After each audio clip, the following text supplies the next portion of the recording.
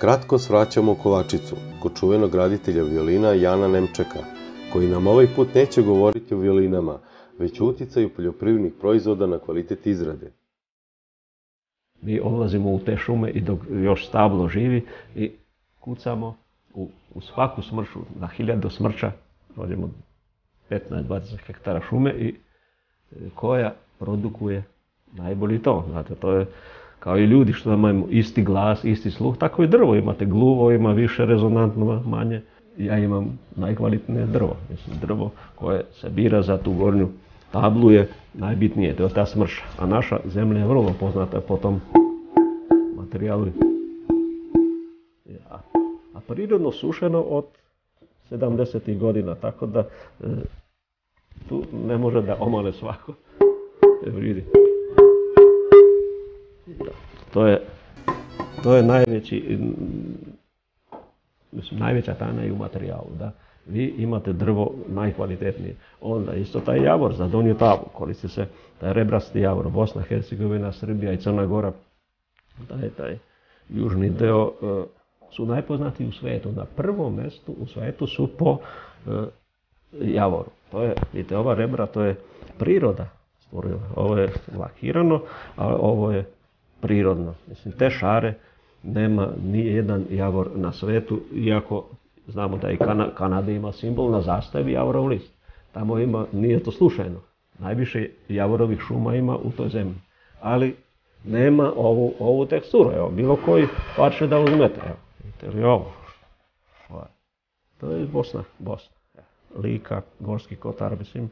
To su regioni, kažem, treba to tražiti, nije svako drvo tako, ali, ali Svako je drugačije, šare nema, zato su vjerovatno i majstori odabrali taj materijal, pošto je, nisu violini iste, kao i, i jaja nisu ista veličina, ali pogotovo drvo.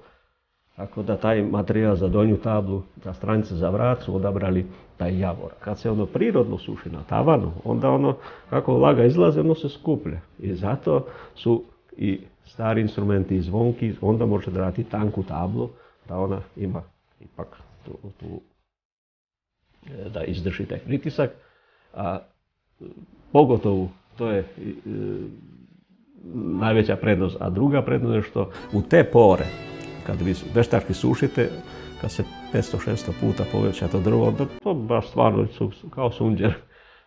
E, tu onda uđe lak, a pogotovo ako se radi kompresorom, kao što se radi i fabrički instrumenti, uđe lak u to drvo, umrtvi tu tablu i ona zvuči plehano, nema plemenitost. A, a majstorski instrument se, kažem, prvo suši prirodno, znači ono već skupljeno onda, ide impregnacija, propolis tinktura, e, koja je i balzam, koja, to je propolis koje naše vredne pčele produkuju, on je u prirodnoj fazi ovako izgleda, to pčelari znaju.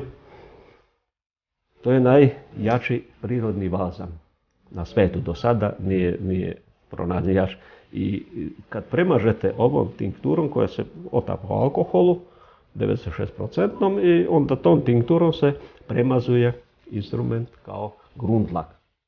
4-5 puta, to je impregnacija i da zatvorite, jako ima sitnih pora, ali što je najbitnije da produžava vek instrumentu. Mislim, poznato je iz istorije da su iz Keopsovih piramida kad su sredinom tamo 20. vijeka izvaditi prve e, Tutankamone i ove e, faraone, da su koristili za balzam tih tela, pošto i koža ostala ne tak, mislim, ista i kosa, pčeli, vosak i propolis. E, znači, to je dokazano i to je sigurno znao i Stradivari i njegovi, mislim, poslije njega i pred njega, amati i zato se od tada instrumente koristi ta tinktura iz polja, iznutra. Ako se e, pravi lak, onda se stavi više, ovo je za lak, znači stavi se recimo 150 grama na, na litar alkohola i onda se na suncu, dok se ne, ne, ne rastopi,